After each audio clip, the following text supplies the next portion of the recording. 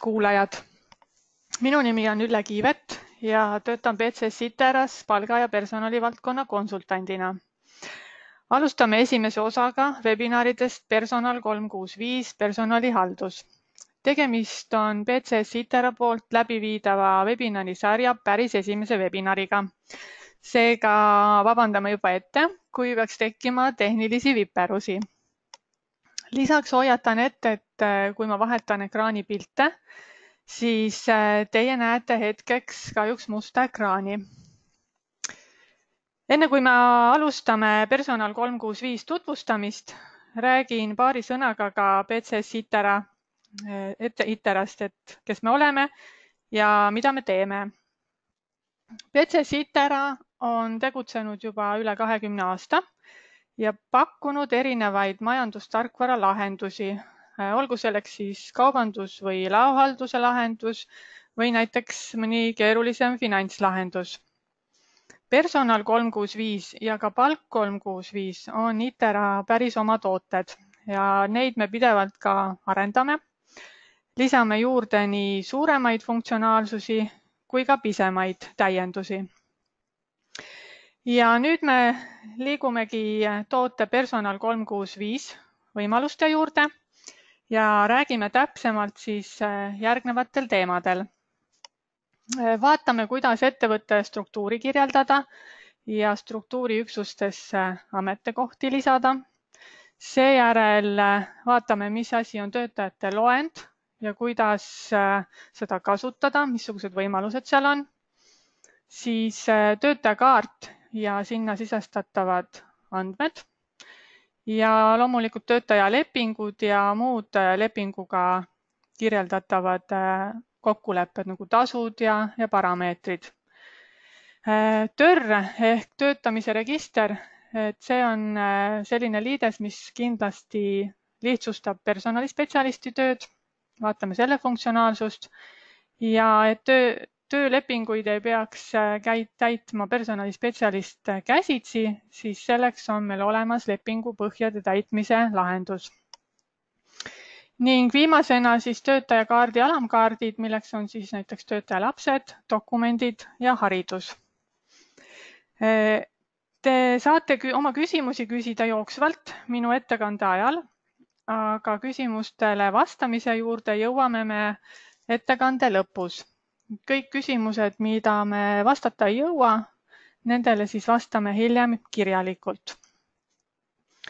nüüd vahetamegi pilti ja liigume lahenduse juurde. kõigepealt siis ettevõtte struktuuri kirjeldamine. selleks liigume seadistuse aknasse ja otsime siit ülesse struktuuri seadistamise. struktuuri on võimalik äh, personal kolm kuus viis äh, seadistada kuni neljatasemelist ehk et neljatasemeline juhtimis, äh, neljatasemeline juhtimine on võimalik siin ära kirjeldada. tasemete nimetused on igal ettevõttel võimalik ise luua. minu näite puhul on kasutusel kaks taset. esimene tase on siis nimetusega osakond, ja teine tase nimetusega üksus. kõikidele tasemetele on võimalik juurde seadistada dimensioon ehk kulukoht, mille abil siis hiljem on võimalik kuluanalüütikat teha. kui tasemete arv on kirjeldatud ja nimetused lisatud, siis äh, järgmisena hakkame kirjeldama struktuuriüksusi ja kirjeldamist alustame kõige kõrgemast esimesest tasemest. selleks on mul lintmenüül nupp tase üks minul on tasemed juba kirjeldatud, et oleks lihtsam ja näetegi siin struktuuriüksuse, struktuuriüksuste esimesi tasemeid. Nendeks on siis näiteks juhatus, finantsüksus, müügiosakond ja kõikidel struktuuriüksustel on mul lisatud ka dimensiooni väärtus, sest ma tahan hiljem nende põhjal vaadata kulusid. finantsosakonda lisan ka ametikohad ja finantsosakonnas on mul siis lisatud üks ametikoht, selleks on siis pearaamatupidaja. pearaamatupidajale alluvad meil üksused ehk teised tasemed. siin on mul nüüd lintmenüül nupp tase kaks ja kirjeldangi ära teised tasemed. teised tasemed finantsüksuse all on eelarveüksus ja raamatupidamisüksus ja nagu te näete, siis ka siin on mul kulukohad mõlemale üksusele lisatud. Raamatupidamisüksuses töötavad mul raamatupidajad ametikohad on mul siin juba eelnevalt äh, kirjeldatud ametikohtade loendist ja mul ei ole vaja teha muud, kui vastav õige ametikoht siit valida. ja samuti ka eelarveüksusesse lisan ma ametikohad. Nendeks on siis eelarvejuht ja eelarvespetsialist. ametikohtade lisamine struktuuriüksustesse abistab hiljem töölepingute rea täitmist, sest kui mul on töötaja lepingu reale äh, osakond ja üksus juba valitud, siis saan ma valida ainult konkreetseid ametikohtasid, mis selles üksuses on ja ma ei pea neid otsima kõikide teiste ametikohtade seast. Äh, nii palju siis struktuuri kirjeldamisest ja edasi saame me liikuda töötajate loendisse mis asi siis on töötajate loend? töötajate loend moodustub töötajakaartidest ja igale töötajale luuakse personal kolm kuus viies eraldi töötajakaart. Äh, töötajakaart, töötajate loend koosneb siis äh, veergudest ja nende veergude järgi on võimalik väga lihtsasti töötajaid sorteerida. minul on praegult sorteeritud numbri järgi, aga võin sorteerida ka näiteks nime järgi kas kasvavalt või kahanevalt või näiteks töölevõtu kuupäeva järgi.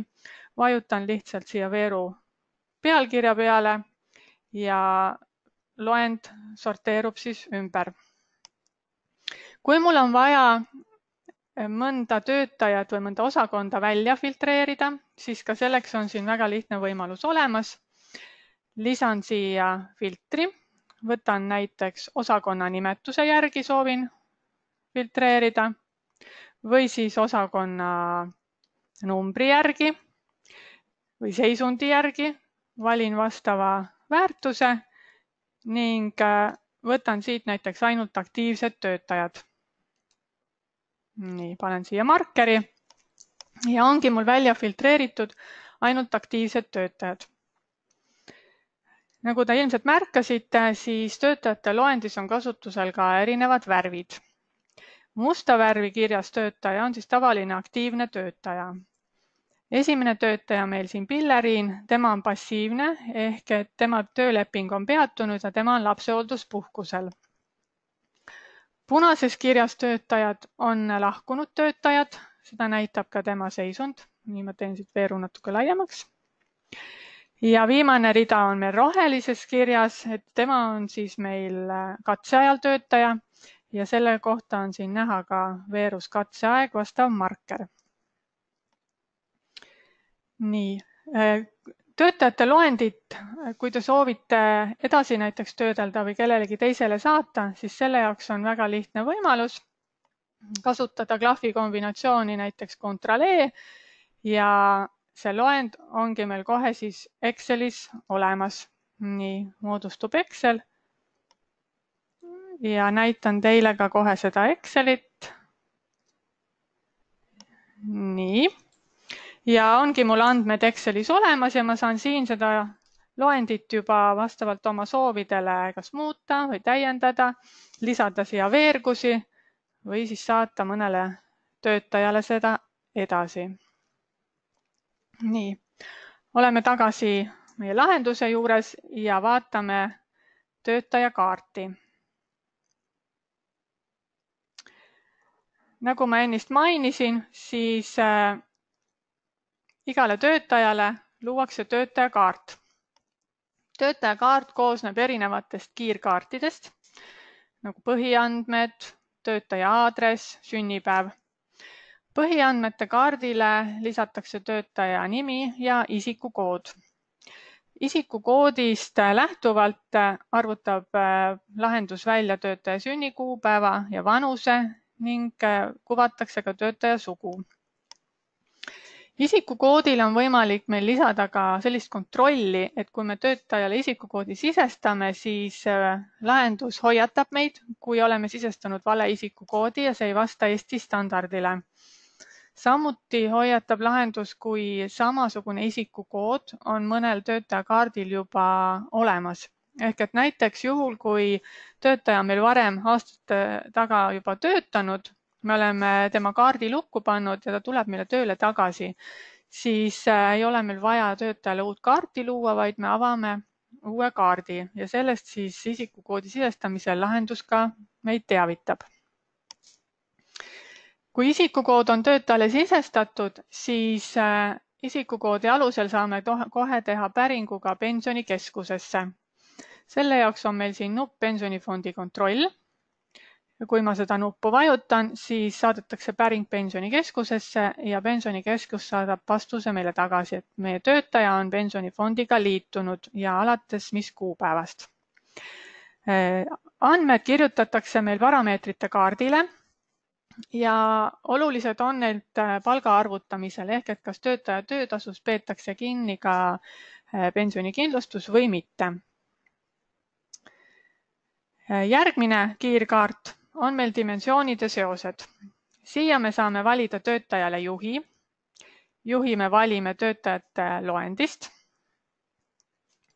siis lisame töötajale kulukohad ehk dimensioonid ehk milliste kulukohtade lõikes me soovime siis hiljem kuluanalüütikat teha, et minul on siis näha, et on siin kulukohtadeks osakond, on projektitähis, üksus ja veel ka eraldi kulukoht kui me töötaja andmeid äh, sisestame, siis on meil võimalik äh, töötaja kaardi andmetest automaatselt luua ka kas müügiisiku, ressursi või hankija kaarti. seda siis äh, meie lahenduse finantspoolele. sest muidu peaks näiteks hankija kaardi tegema käsitsi, sisestama needsamad andmed, aga kui töötaja kaardilt on loodud hankija kaart, siis juhul, kui näiteks töötajal muutub, muutuvad pangaandmed, siis muudetakse neid pangaandmeid automaatselt ka hankija kaardil.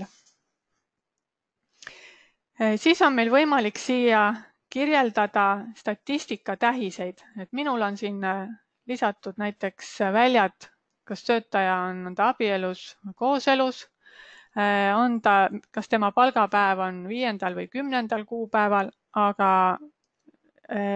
mida siis ettevõte soovib siia kirjeldada, et see on ettevõtte enda vabalt äh, otsustada.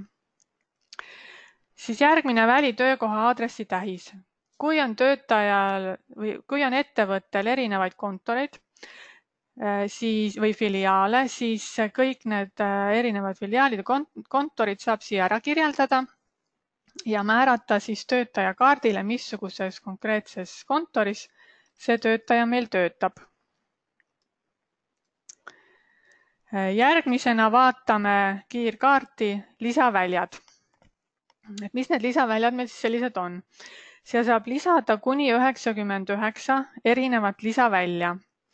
lisaväljaga, väljade nimed ja ka lisavälja väärtused, need saab kasutaja ise kirjeldada. minu näite puhul on siin näiteks äh, Fontese tööpere ja Fontese tasemed kirjeldatud, et mina soovin töötajaid selle järgi ka hiljem siis äh, välja sorteerida. järgmisena on töötaja aadress ja kontaktid.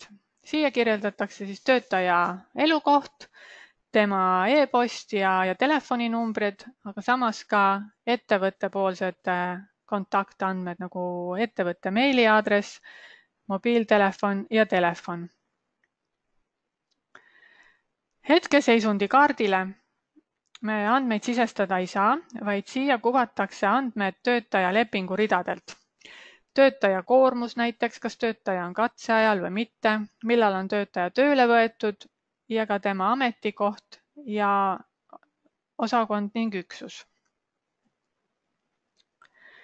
kui on tegemist äh, töötajaga, kes ei ole meil resident, vaid on mitteresident, siis eraldi kiirkaart on ka meil nende andmete jaoks.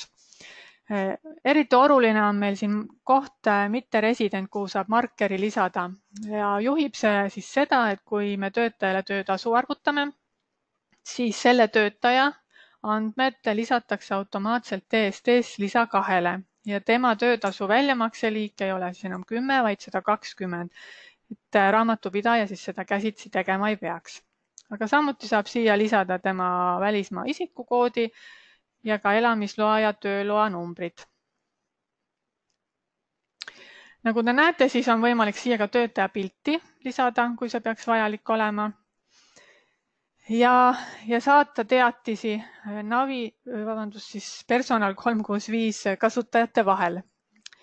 Äh, näiteks sisestab personalispetsialist andmed, töötaja andmed töötajakaardile, aga mõned andmed on veel puudu, siis ta saab teist kasutajat teavitada sellest, et töötajal on näiteks isikudokument veel esitamata, et ei pea saatma eraldi meili, vaid saab seda teha siis otse siit ja otse Äh, lahenduse kaudu.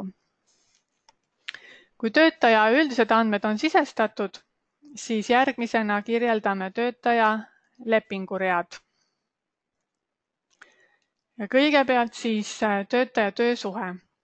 töösuhte loendisse lisatakse alates äh, kuupäev ja töötaja lahkumisel ka kuni kuupäev.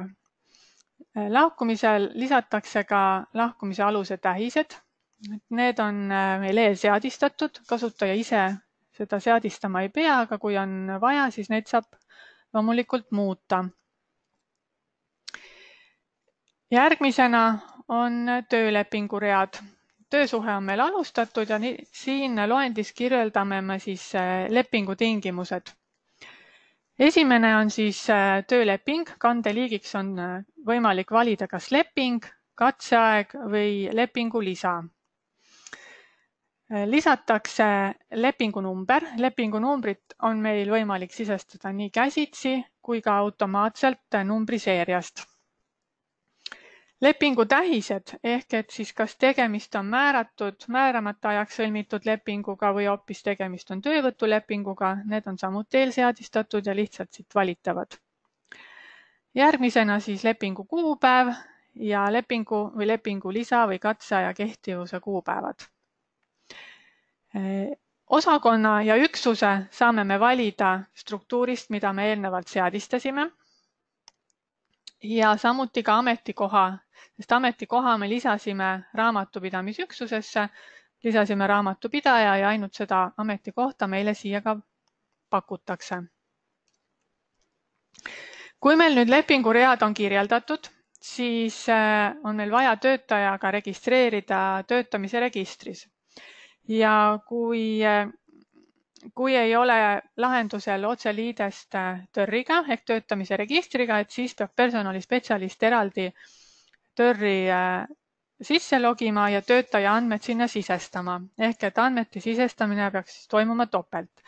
aga meie lahenduses on TÖR liides olemas ja personalispetsialistil ei ole vaja teha midagi muud, kui vajutada lintmenüül nuppu tööregistrisse saatmine ning tööregistrist saadetakse tagasi tööregistri ID, mis kirjeld-, kirjutatakse maha siis siia lepingureale.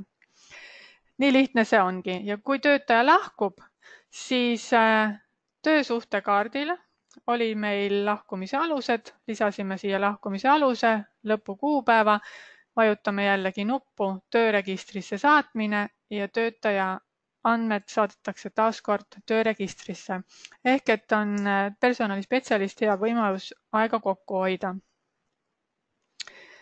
töötasud.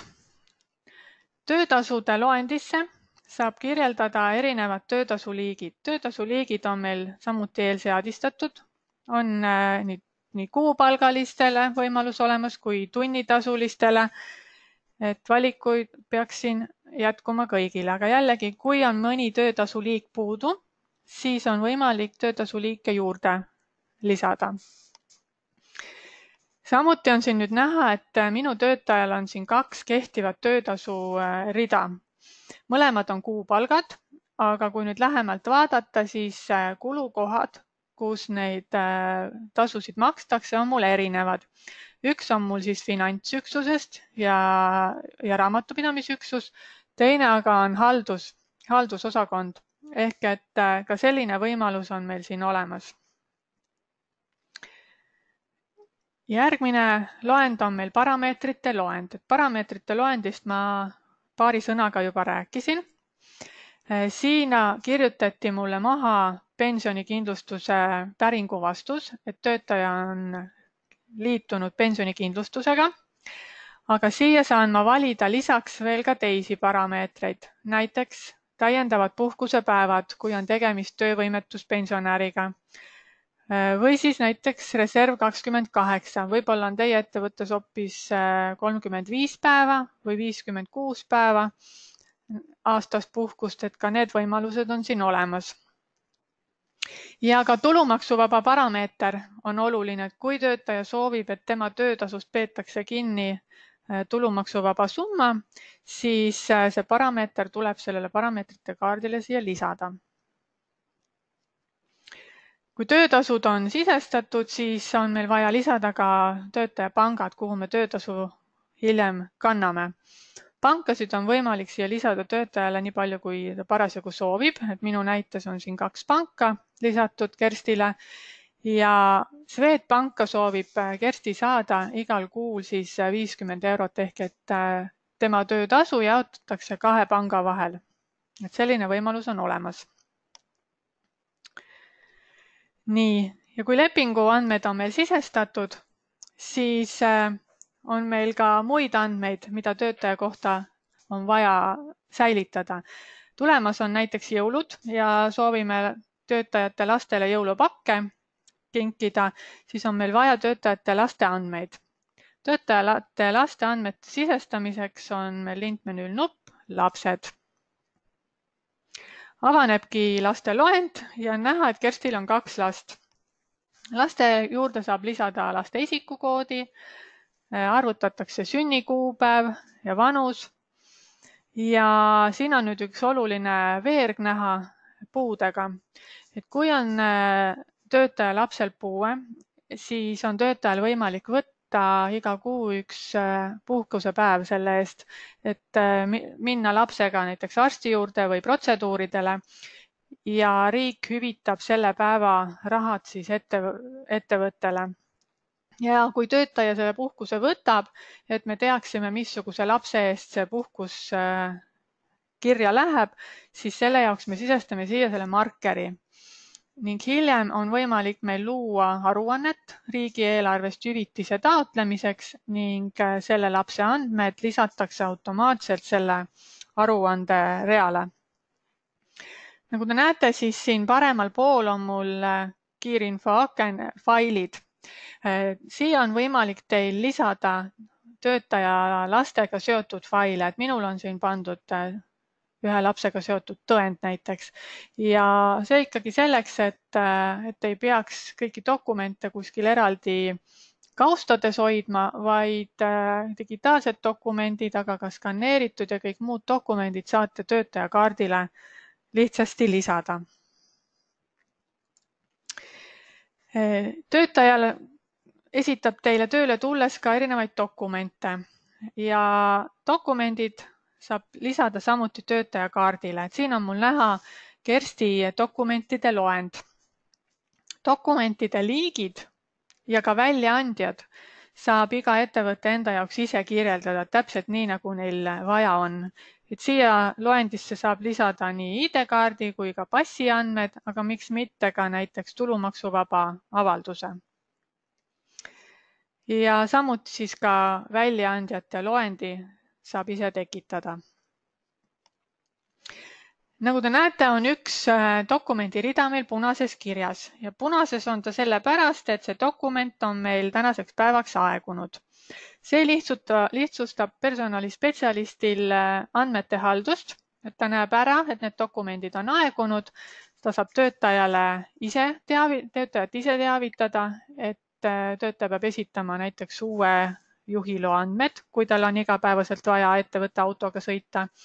aga võimalik on seadistada ka kalendriteavitust ehk et ähm, meie lahendus ise saadab töötajale ja ka personalispetsialistile teavituse, et tal on vaja dokumente uuendada. ja ka siin on olemas meil failide aknake, kuhu dokumendiga seotud failid lisada kui on ettevõttel vaja ka töötaja hariduse andmeid säilitada, siis ka see loend on meil siin olemas. sisestada saame nii sisseastumise kui ka lõpetamise kuupäeva, õppimise seisundi, kas äh, meie töötaja veel õpib, on ta kooli juba lõpetanud või on kool jäänud lõpetamata. samuti markeri, kas töötajale lubata, lubatakse õppepuhkust või mitte ning eelseadistatud on meil haridustasemed äh, ja haridustasemetega on seotud haridusastmed. et need on siis vastavalt äh, Eesti seadustele. erialade tähised on kasutajate enda seadistada ja õppeasutuste loend on meil eelseadistatud, et siin on nüüd Eesti suuremad kõrgharidust pakkuvad äh, koolid loetletud, aga seda loendit saab iga kasutaja ise täiendada. ja jällegi kõik koolidega seotud äh, failid soovitame lisada siia failide aknasse. sellega on meil äh, ettekande osa lõppenud ja me saame liikuda küsimuste ja vastuste juurde nii. vaatame, kas küsimusi on ka tulnud.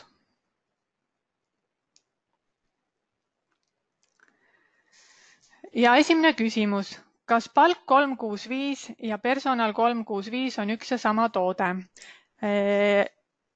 Palk kolm kuus viis äh, sisaldab äh, suuremas osas palgaarvutusega seotud funktsionaalsust ja väiksemas osas personali funktsionaalsust. personal kolm kuus viis on äh, laiendatud toode ehk et sinna on siis lisatud veel täiendavaid funktsionaalsusi nagu koolituste moodul, tervisekontrollid ja sellised asjad.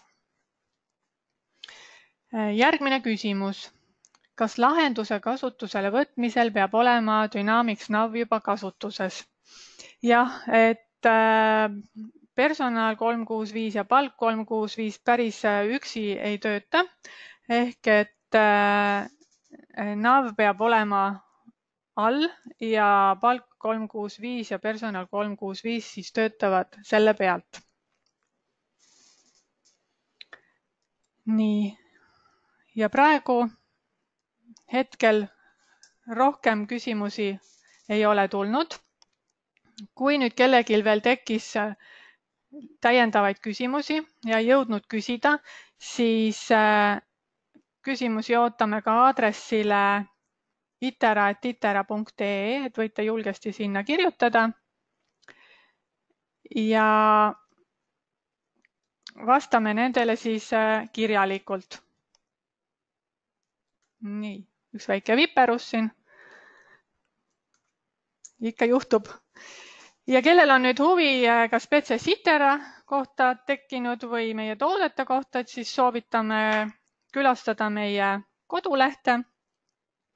Eh, leiate meid ka Facebookis ja meie toote personal kolm kuus viis ja palk kolm kuus viis kohta leiate informatsiooni aadressilt www.palk365.ee mina tänan teid kuulamast ja kellel on huvi, siis äh, meie teine osa personaliteemalisest äh, webinarist toimub viieteistkümnendal novembril ja algusega kell kolm. ilusat päeva teile!